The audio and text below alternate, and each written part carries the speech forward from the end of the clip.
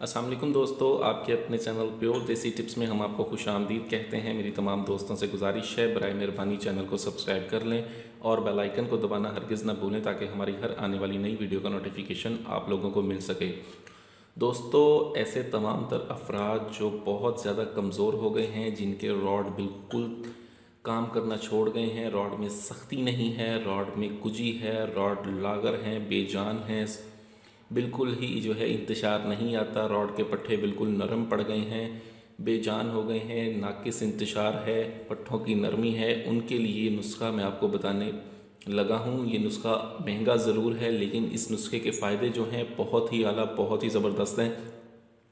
इस नुस्खे को कैसे बनाना है और इस नुस्खे को कैसे इस्तेमाल करना है, इसमें किन किन चीज़ों का इस्तेमाल है, ये मुकम्मल तफसील मैं आपको बताऊँगा। वीडियो को एंड तक लाजमी देखें, कोई भी स्टेप मिस ना करें। ठीक है, आधी अधूरी इन्फॉर्मेशन जो है हमेशा ख़तरनाक होती है, इसलिए आप कोशिश करें कि वीडियो को एंड तक लाजमी देखें। इस नुस्खे में हमें जो चीज़ें चाहिए होंगी, उसमें सबसे पहले जो चीज़ हमें चाहिए, वो है दस अंडों की जर्दियाँ हमें चाहिए। देसी अंडों की जर्दियाँ ले लें आप दस, ठीक है? उसको आपने, उनका तेल निकालना है। तेल निकालने का तरीका ये है कि आप सर्दियों को तवे के ऊपर रखें। तवे के ऊपर रख के आप उसके ऊपर कोई बर्तन दे दें, नीचे से चूल्हे की हल्की सी आँच जला दें, ठीक है? और आँच जलाने के बाद चूल्हे को आपने तवे, आँच जलाने के बाद आपने जो है, इसको पाँच मिनट तक ऐसे ही रहने देना है। पाँच मिनट के बाद आपने तवे को एक साइड से ऊपर कर देना है। तवे को एक साइड से ऊपर करके उसके नीचे आपने कोई प्याली नुमा चीज़ रख देनी है, ठीक है? तो उसके बाद यह है, उसका तेल निकलेगा, कतरा कतरा करके उसका तेल उसके अंदर आ जाएगा, ठीक है? प्याली के अंदर, ठीक है? जब सारा तेल अच्छी तरह से निकल आए, ठीक है? आप तब आपने चूल्हे की आग को बंद कर दें, तेल को महफूज कर दें। अब आपने करना ये है कि ये जितना तेल निकला है आपका उस, उसको आपने संभाल लेना है ठीक है?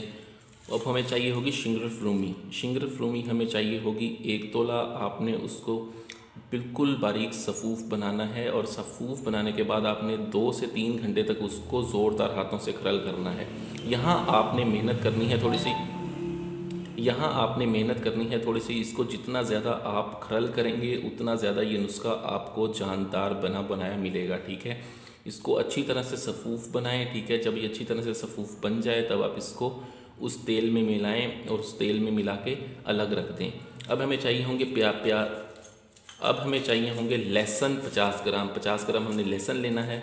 ठीक है, इसको हमने खर, किसी भी चीज़ में डाल के कूट के इसका पानी निकाल लेना है। इसका जितना पानी निकलेगा, उसमें, उतनी मकदार में आपने तिलों का तेल इसके अंदर शामिल करके इसको पकाना है।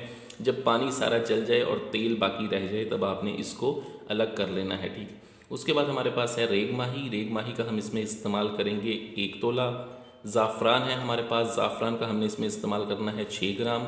और एक माशा हम इसमें कस्तूरी का इस्तेमाल करेंगे, ठीक है? इन तीनों चीज़ों, इन दोनों चीज़ों को हमने बिल्कुल बारीक सफ़ूफ बनाना है। बिल्कुल बारीक सफ़ूफ बनाने के बाद जो है, आपने इसको, इन दोनों के मरकब को, ये जो तेल तिलों का हमारे पास बचेगा, उसमें और उसको अंडों के तेल में और शंकर के तेल में हमने डाल देना है और डाल के इसको चूल्हे की हल्की आँच पे रख के इसको आपने आधे घंटे तक पकाना है। आधा घंटा तक इसको पकाएँ।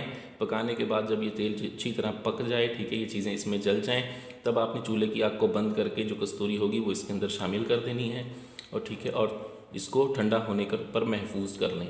अब इसके इस्तेमाल का जो तरीका है वो सबसे मुख्तलिफ़ और सबसे जुदा है। आपने करना यह है कि इसको किसी शीशे की ढक्कन बंद बोतल में महफूज करें और ढक्कन उसका इस तरह से टाइट हो कि आप उसको में कि हवा ना, बिल्कुल ना जाए। ठीक है, आपने जब भी इस तेल को इस्तेमाल करना हो, उस तेल को, उस बोतल को आपने एक पानी की देचकी लें उसके अंदर डाल के उसको पानी को जोश दिलवाएँ ताकि वो तेल गर्म हो जाए। ठीक है, अब यहाँ पर ढक्कन इस तरह टाइट हो कि उसके अंदर पानी का कोई भी कतरा ना जाए। अगर पानी तेल के अंदर गया तो सारा तेल आपका बेकार हो जाएगा। ठीक है, उस तेल को गर्म कर गए, अपने रॉड को जो है रगड़ें, ठीक है, रगड़ के इसमें थोड़ी सी सख्ती पैदा करें। ठीक है, जब आपका रॉड तैयार हो जाएगा, उसके बाद आपने इसके पाँच कतरे, पाँच कतरे ऊपर और साइडों पर इस्तेमाल करने हैं। दो मिनट तक इसकी मालिश करें। दो मिनट मालिश करने के बाद आप सो जाएँ। सुबह उठ के नीम गर्म पानी से धोएँ। ये पंद्रह दिन में ही आपको ऐसा रिज़ल्ट देता है। ठीक है, पंद्रह दिन में आपको ये मुकम्मल रिज़ल्ट देता है और पहले दिन से ही यह फ़र्क डालता है। वीडियो अच्छी लगी हो तो इसको लाइक करें, वीडियो को शेयर ज़रूर कर दिया करेंगे ताकि दूसरे लोग भी फ़ायदा उठा सकें। मुझे अगली वीडियो तक के लिए इजाज़त दें। अपनी सेहत का बहुत ख्याल रखें। शुक्रिया। अल्लाह हाफिज़।